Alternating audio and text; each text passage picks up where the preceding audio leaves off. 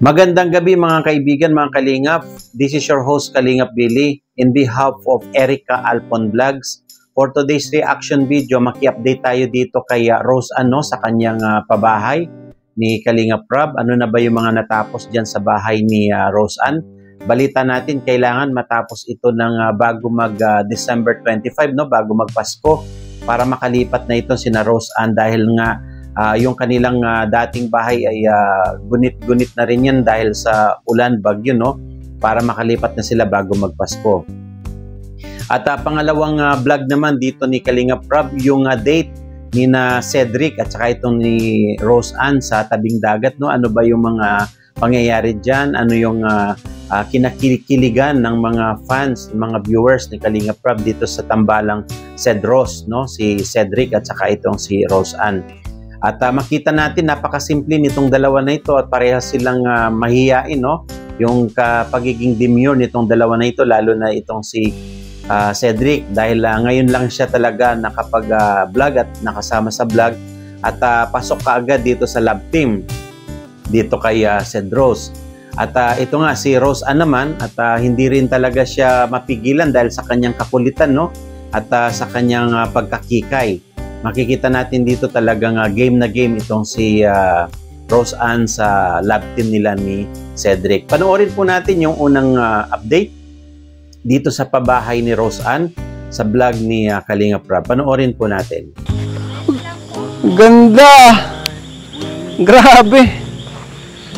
So, ayan.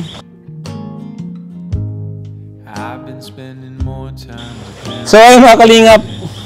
Grabe po. Ah, patapos na po mga kalingap.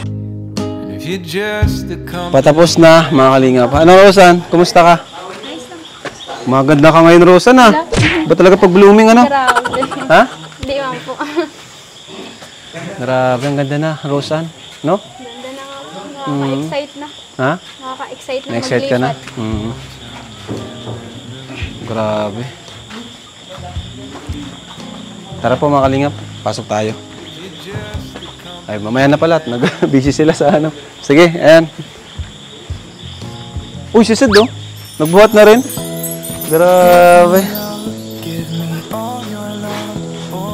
Grabe si Sid, tumulong. Ayan. Ka Siguro, di na to uh, tapusin, ma, ano no, abutin ng Pasko, ano. Malapit na to. Ano na lang pala, oh, mga kalingap, tiles na lang. Sakto-sakto nagbili tayo ng tiles. Tapos, ayun. Halos same na same po ito ng bahay nila Dara. Pares na parehas po. Kumusta si mama mo? Okay naman po.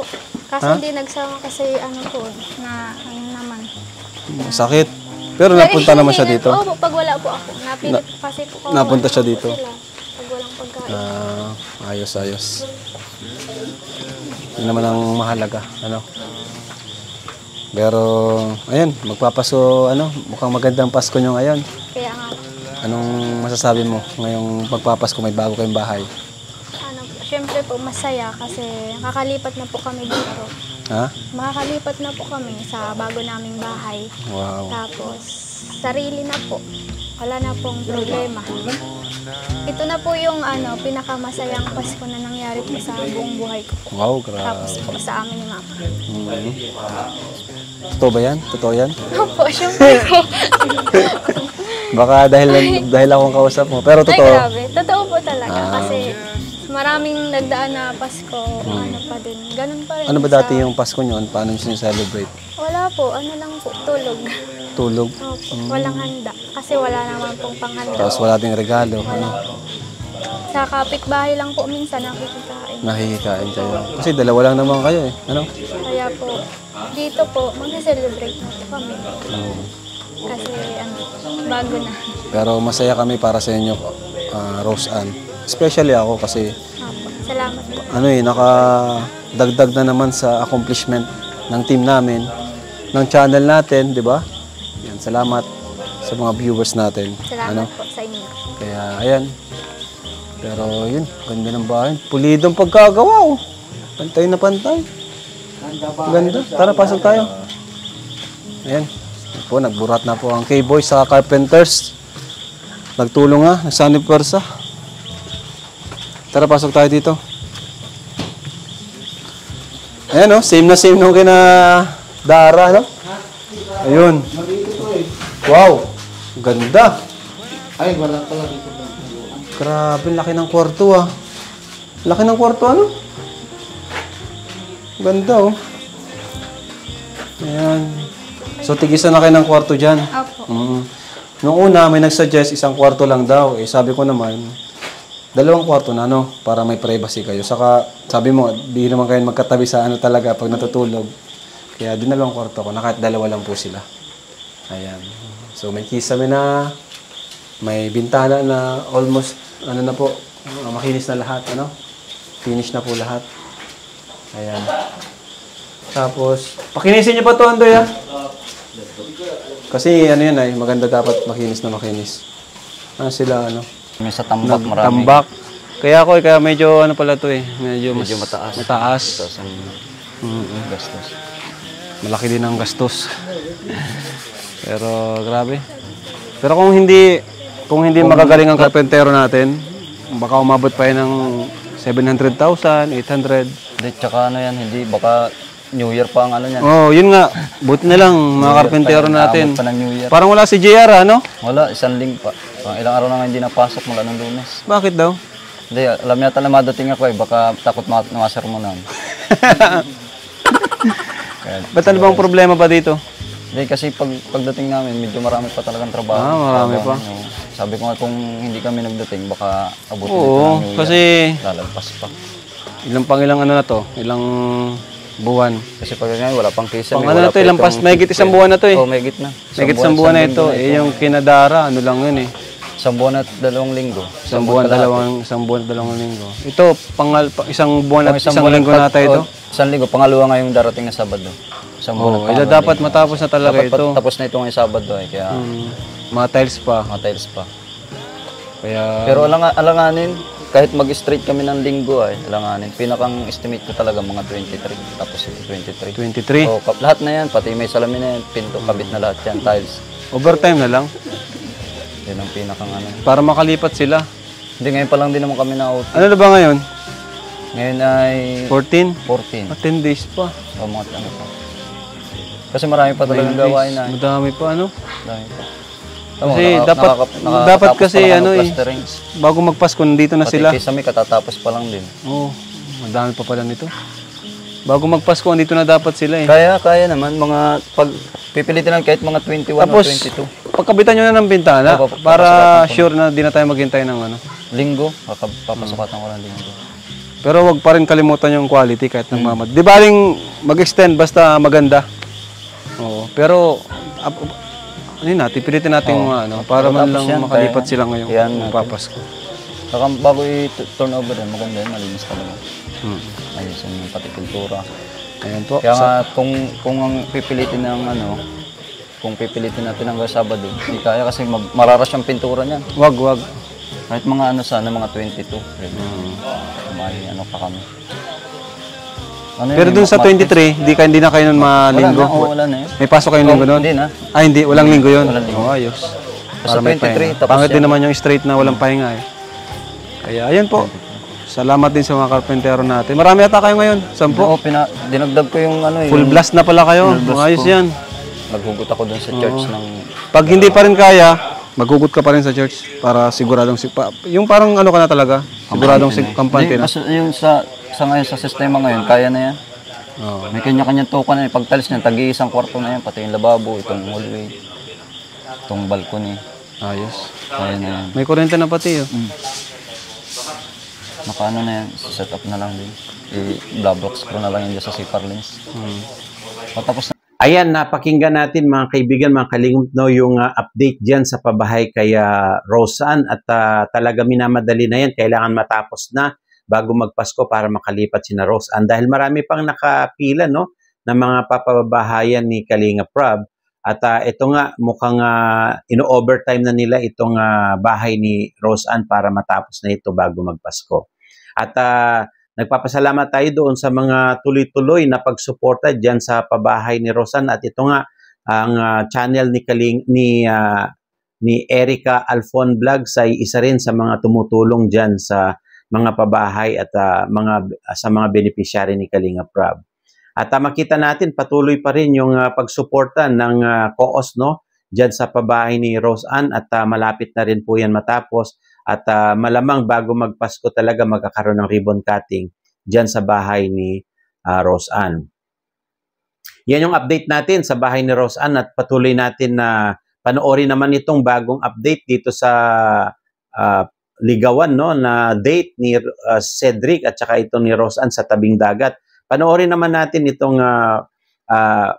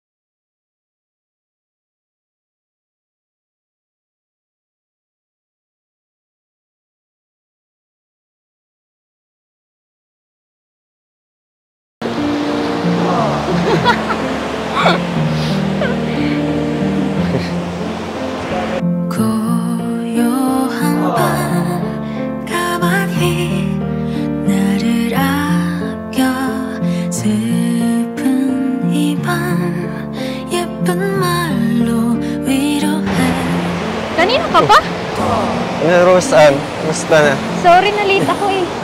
Di sakto lang naman, kaka ano ko lang rin naman. Medyo, ano, medyo natagalan pagpunta dito. Kamusta yung biyahe naman? Okay naman.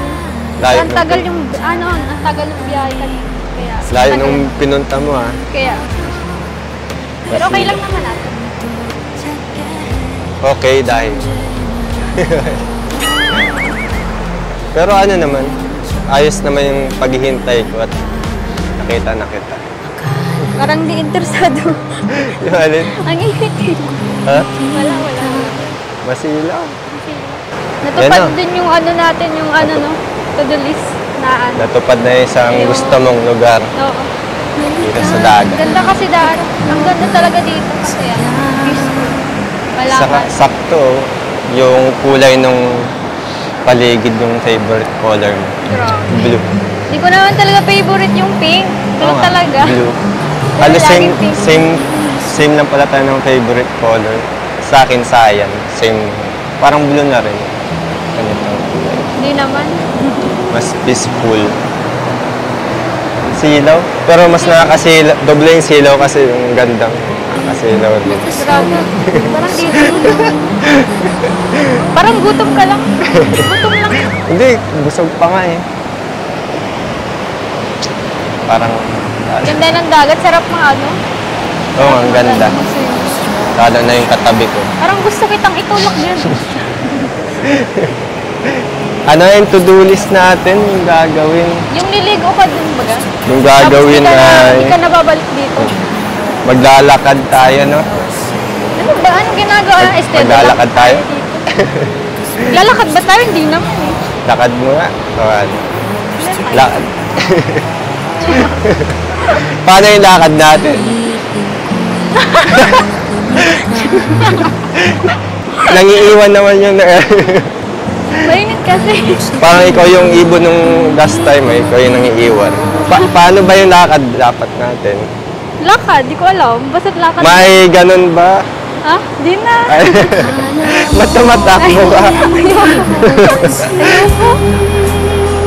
Para naman kitang hold up yan, tinatakasin ko. Baka may plano ka Ano na lang, ganyan na lang. Saan? Dito.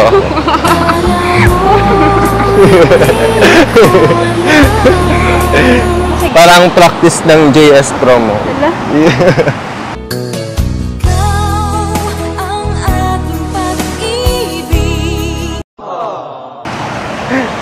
May JS, may JS prom pa ba kayo? Tapos na. Tapos na? Oo. Hello. Ayan, nakita natin mga kaibigan, mga kalingap, no, yung ah, first date nila. Mukhang nga talagang hindi pa nila alam kung ano yung gagawin nila, maging yung kanilang ah, wishlist nila, no, hindi nila akalain na matutupad nila yan. At ah, pero mukhang may kulang-kulang pa diyan sa kanilang ah, wishlist na yan, sa kanilang ah, date, no. At ah, makita natin talagang ah, baguhan pa at ah, bata pa itong ah, si ah, Rose Ann, talagang ah, makikita mo yung ah, paglalaro at saka hindi pagiging seryoso diyan sa kanyang sa kanyang ah, kapartner no na si Cedric. Alam naman natin guys, ito ay isang ah, ah, entertainment para sa mga OFW para yan sa hindi sila magkaroon ng ah, ah, mainipin no diyan sa kanilang mga pinagtatrabahuan sa ibang bansa. At ah, napansin naman natin talagang ah, baguhan pa sa ganitong ah, pagbablog itong si Rose Ann at ah, alam naman natin na itong si Cedric ganun din no? At ah, pareho silang nag adjust at ah, nahirapan pa si- sila sa pacing nung ah, lab team. Ah, hindi tulad nung ah, kay ah, Rochelle kay ah, kay ah, Edrica no? Talagang ah, ma- maganda yung kanilang ah, pag-uusap pero dito kay ah, Cedros mukhang ah, napapansin ng ating mga viewers ah, ay bata pa at ah, hindi pa talaga sanay sila sa ganitong ah, klaseng vlog. Ganun pa man nagsusumikap itong si Rose Ann na magkaroon no na na ma-vlog sila sa pagpayag niya dito sa lab team ng ah, Cedros. Ganun pa man po at itong ah, si Cedric naman ay ah, game na game pa rin ah, sa pag ah, ah, sa pagtutupad no dito sa lab team na ito at ah, tinatry nila yung best nila. At makikita natin mayroong mukhang ah, ah, regalo at pasalubong itong si si ano no sorpresa para kay Rose Ann itong si Cedric. Panoorin natin kung ano po itong sorpresa na ito mukhang ah, na in love dito at na shock no na surprise talaga itong si Rose Ann. Panoorin po natin. Pailaw. Talikod ka muna, Rose Ann. Para ma-surprise kita sa mga regalo. Okay lang? Kakain pa pala. Kukunin ko lang saglit.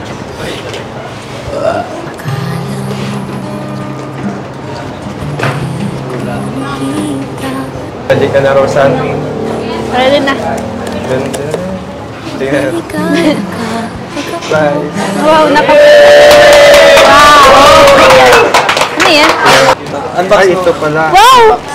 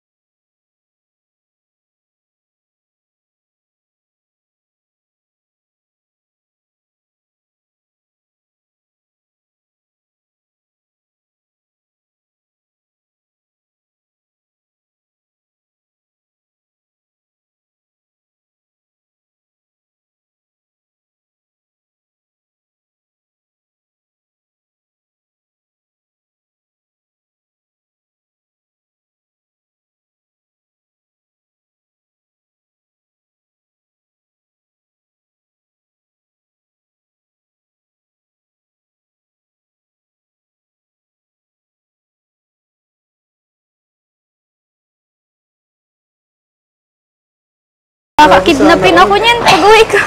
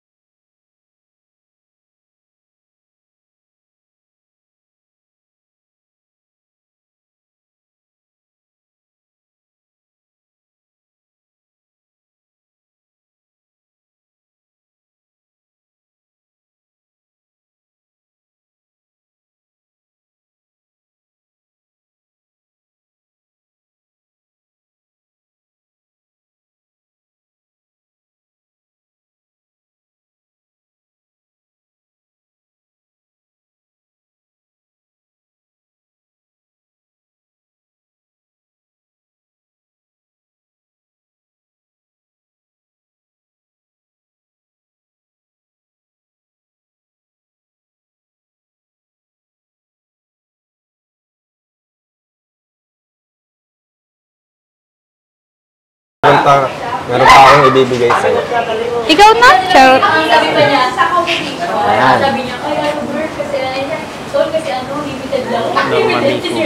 Normami. Normally. Ate kaya. Ito, Rose, ano pala?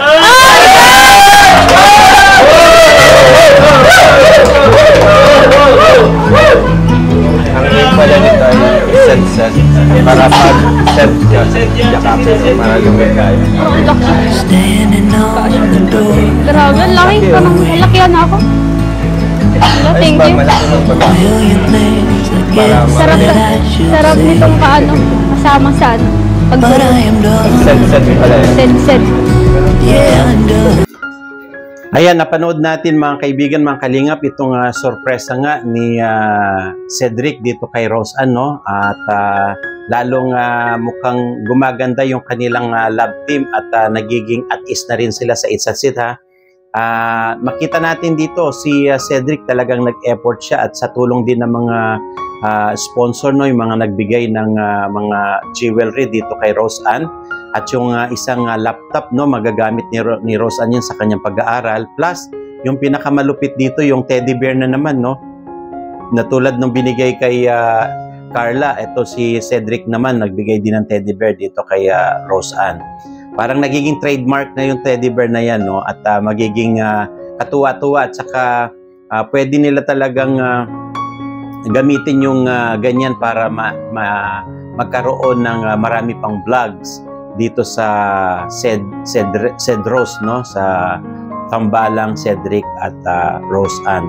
At ah, nakita natin na naging masaya diyan si Rose Ann at ah, itong si Cedric at sana naman na na naging masaya din yung mga nanonood na nagkaroon ng kaunting ah, kilig no sa pagbibigay ni Cedric doon sa Teddy Bear. Kaya maraming salamat sa mga nanood po dito sa channel ni Ate Erica Alfon Vlogs. Huwag po ninyong kalimutan mag-subscribe. Pakihit na rin po yung notification bell para lagi kayong updated sa ating mga bagong videos. Maraming salamat po. Ito ang inyong lingkod, Kalingap Pili. In behalf of Erica Alfon Vlogs, see you on our next video.